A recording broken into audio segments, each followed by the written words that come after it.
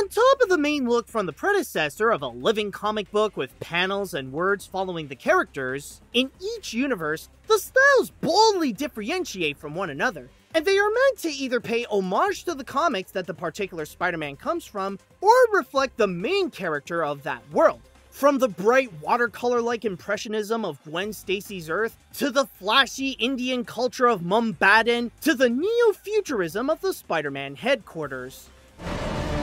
Make sure he never forgets where he came from. And